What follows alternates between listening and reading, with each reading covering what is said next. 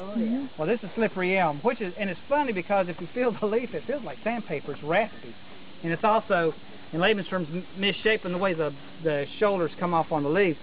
The inner bark is the part that's used on this, and in the south, it's hard to find big slippery elm because so much of it was cut out for food and as medicine.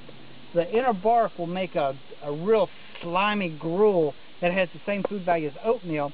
So if you had somebody with irritable bowel problems, but in particular people that had like a chronic wasting disease, had been sick for a long time, an invalid, you would put this in their diet because the body would break it down and digest it, get the food value out of it, and not as easily, if their stomach was sensitive to having anything on it, reject it.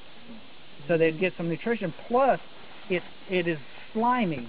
So from the mouth on all the way down and out, it coats everything and that that soothes, takes heat out. If you've got somebody with say irritable bowel problems, uh, where the the that mucosal lining in the intestines is gone and scraped away, and food's going down through, and fecal material is scraping and keeping it raw and irritated, and you can't get off that merry-go-round to heal.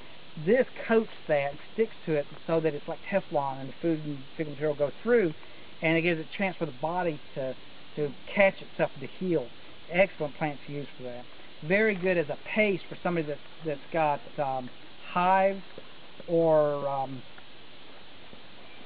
shingles. My mind's just blank. Shingles. Very good for shingles. Doesn't cure the shingles. Use there are other herbs to use for that, such as heal all and lemon balm. But it gives a lot of wonderful just relief from the pain of the shingles. You just make a thick paste. When you eat it, it's I won't say it's the best tasting thing. It reminds me of, of pencil shaving. No. But it's but it's very edible. The leaves or the what? The inner bark. The You have to find bark. a big. You have to find a bigger tree, and it's hard to find them now. But what you buy in the health food stores comes from up north, where you still see them. And occasionally you'll see ones here about about that big. That's big enough for you.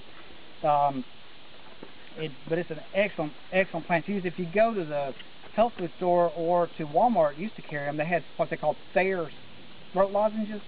They were in a yellow box, and that was just slippery elm uh, lozenges, and they because it coats and soothes. Darryl, could you make a paste out of uh, yellow root and put it on possibly uh, shingles? Yeah, the shingles is viral, not the. Oh, that's right.